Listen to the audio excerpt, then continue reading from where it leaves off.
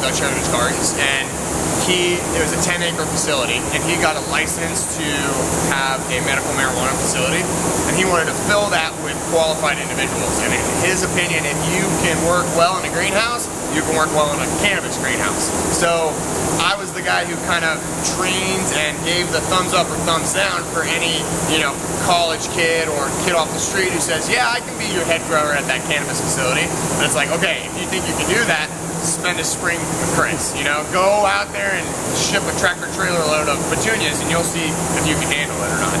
So we had probably 10 people that went through that. Three of them made it and then they went and filled that you know, facility. When they were filling that facility, I was kind of eyes on site all the time. I was, you know, supplying those guys with information and uh, products and stuff like that.